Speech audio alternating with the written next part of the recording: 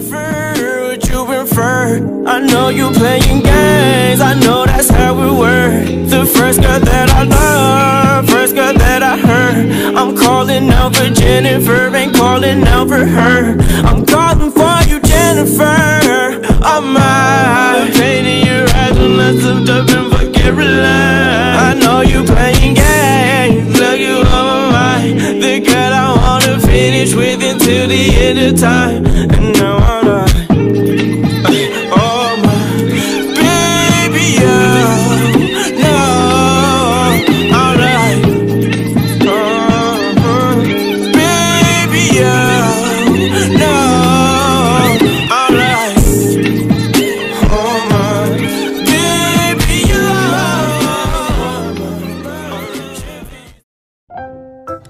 achieve that kind of beautiful hair, so ito yung mga kakailanganin natin, yung purple shampoo and Bremod ang gamit ko.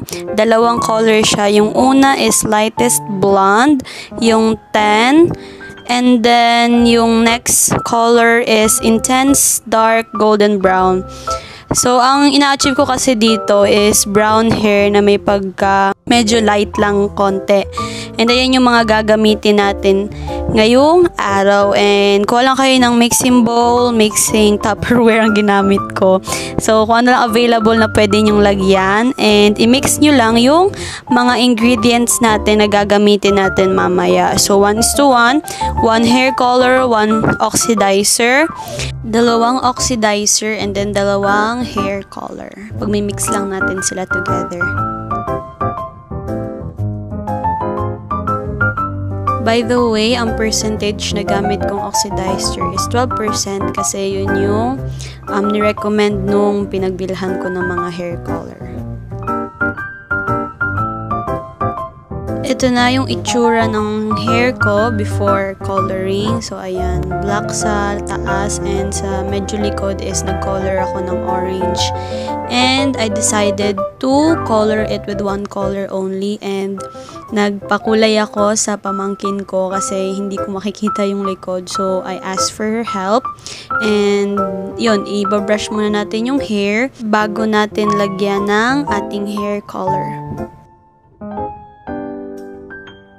And if you are 18 years old below, I discourage you to color your hair kasi uh, mismong ako I experience na kapag kinulayan yung buhok nang hindi pa siya matured enough, sobrang magbubuhaghag talaga siya as in, I swear I experienced it.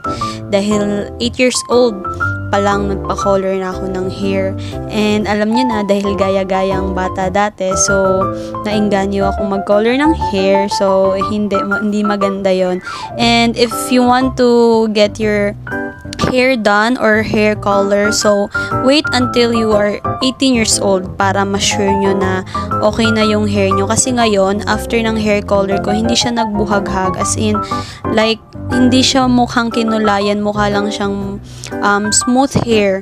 Like, hindi siya na-damage sa hair color. So, I also recommend that after you put the hair coloring and after you wash it, make sure na you put some treatment and especially um, coconut milk or coconut treatment kasi nakatulong siya sa buhok ko na hindi magmukhang sira, hindi mag-feel na maganit, kundi nagmukha siyang smooth like there's nothing um, chemical na napunta dahil sa hair color. So that um, that things or that hacks I would recommend to you for you to achieve that healthy hair kahit nagpakulay kayo ng buhok.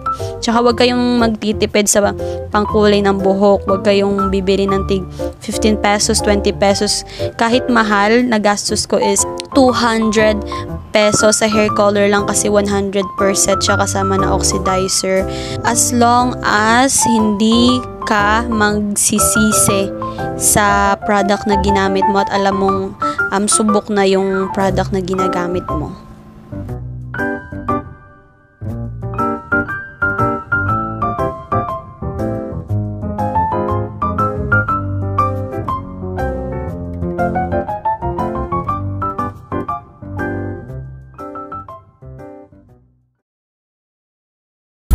Just your friend, no, what's the point of lying? Trying to sell a story, ain't nobody buying.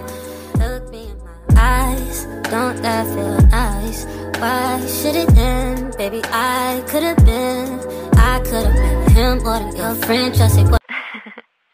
Drop it. I just want a little bit of peace. Peace. And love. Peace. And love. Peace. Jennifer, what you prefer? I know you're playing things I know that's how we were. The first girl that I love, first girl that I heard. I'm calling out Jennifer, ain't calling out her.